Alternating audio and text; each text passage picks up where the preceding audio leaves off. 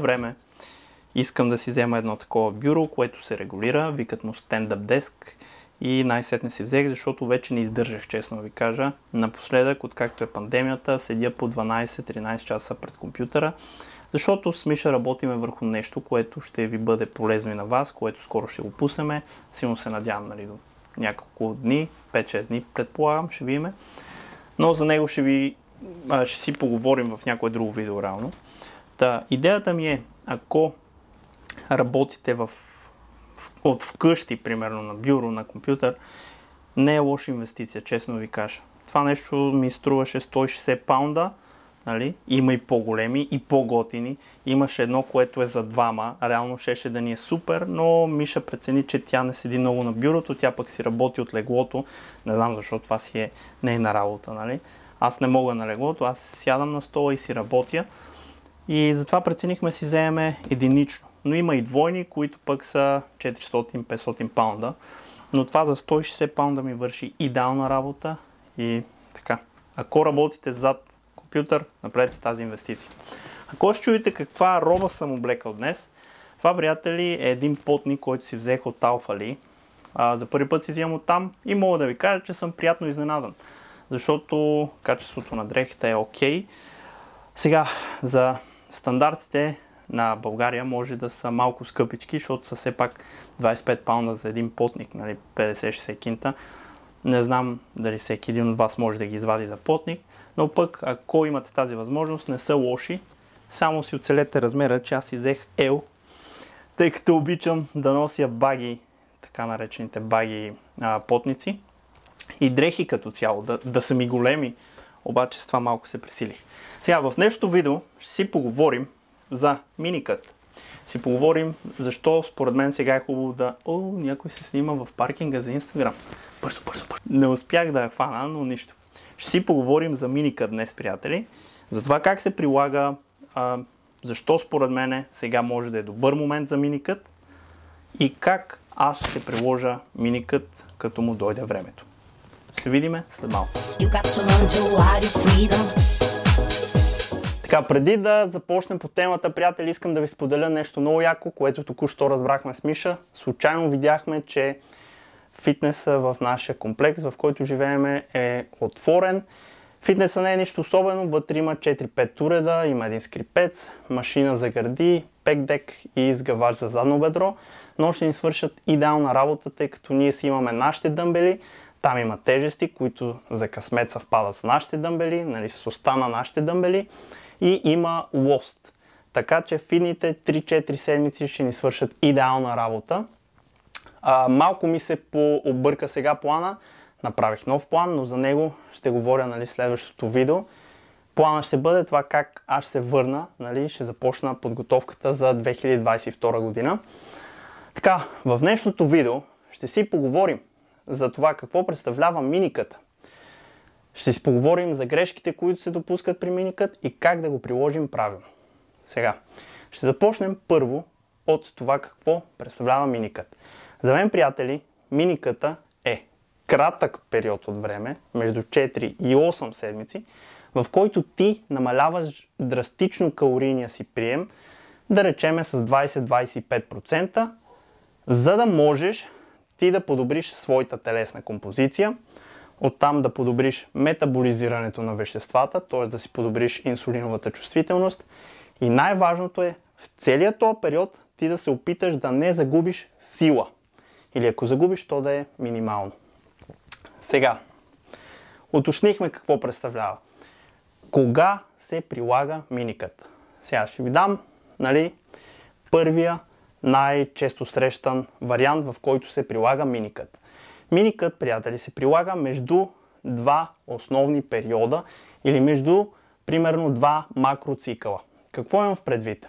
Ако си натурален, дори и ако взимаш стероиди, но целите си големи искаш да се състезаваш, искаш всеки сезон да се подобряваш, а не да се състезаваш всяко едно състезание, или пък дори да нямаш цели да състезаваш, ами си нали, натурално тренираш, който иска просто да изглежда по-добре, иска да качи мускул, то според мен ти трябва да си даваш достатъчно време за основен период. По достатъчно време имам в предвид да речеме година, година и половина, две години.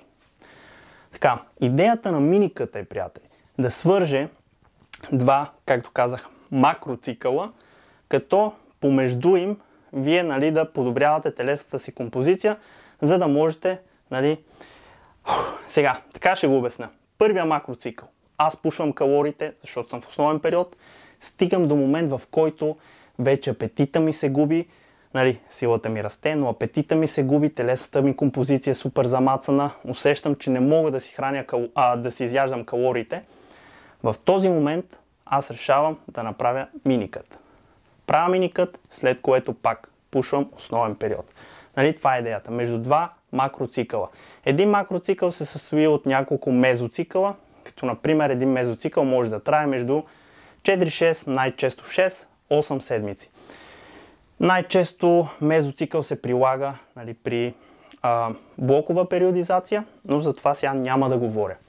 Сванахте каква е идеята. Примерно аз имам една година основен период или две години основен период. Пушвам, правя един хубав бълк, примерно 6, 8, 10 месеца.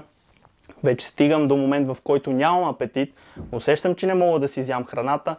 Правя един миникът за 6-8 седмици, така рязко, драстично намалявам калориите, подобрявам телесата си композиция, подобрявам инсулиновата, инсулиновата си чувствителност, нали, по-добре метаболизирам веществата, не губя сила и започвам наново да натискам с калориите и да надграждам.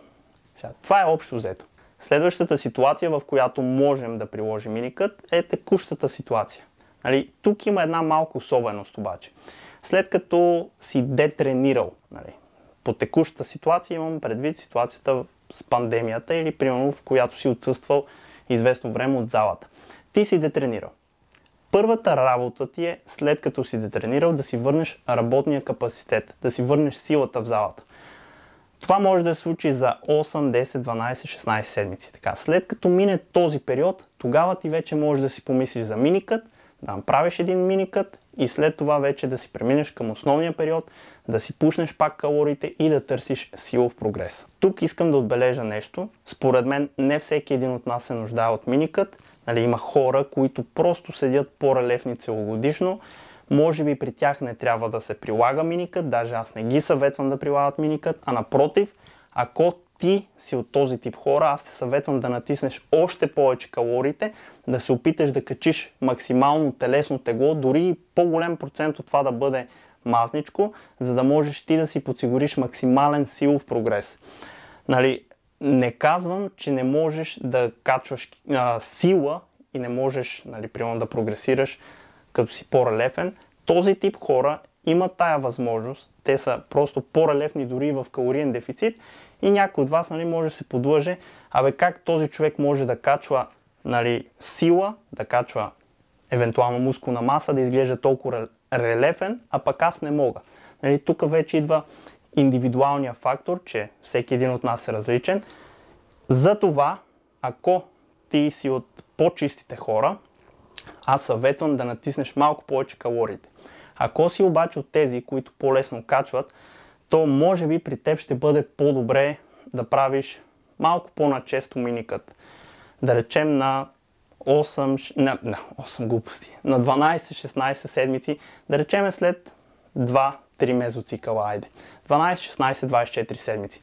Ако си от по-чистите момчета, на 10 месеца, година, може и по-малко, нали? зависи колко агресивно качваш. Нека да разгледаме ситуациите, в които не трябва да се прави миникът. Според мен, приятели, и много често срещана грешка е това, особено при, най-вече при състезателите, е точно след а, състезанията, когато ти вече трябва да се а, ревързнеш или да приложиш recovery diet, за която ние сме говорили.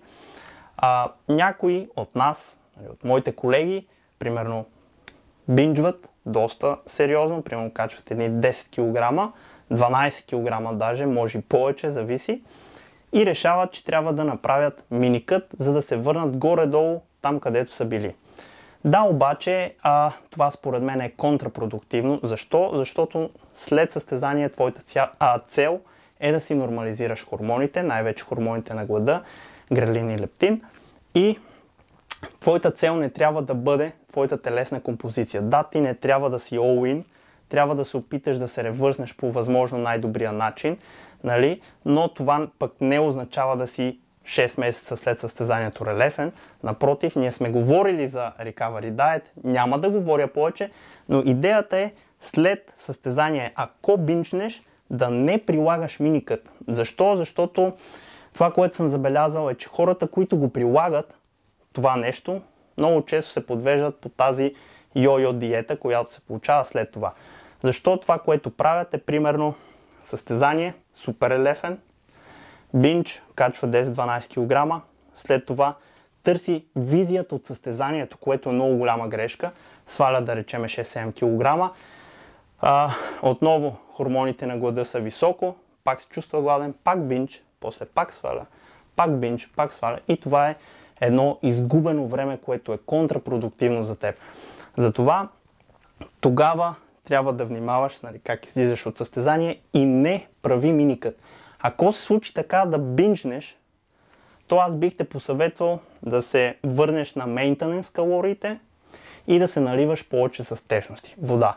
Защото най-често а, теглото, което си покачил след състезание е водна задръжка. Следващата ситуация, която леко се припокрива с тази, е именно преди състезание. Случва ми се, нали, хора са ми споделяли, състезатели, които след дълъг основен период нали, решават да се готвят, обаче примерно имат едни 4-6 седмици, след основния период правят агресивен миникът и тогава започват нали, контест преп или състезателна подготовка. Отново това според мен е контрапродуктивно, защото нали, да, хубаво е, че се опитваш да направиш подготовка преди подготовката, за което аз съм на 100% съгласен, но примерно трябва да го направиш от основен период, да минеш на мейнтенес, да изгубиш това излишно тегло, вода, гликоген и след това да започнеш калорийния дефицит.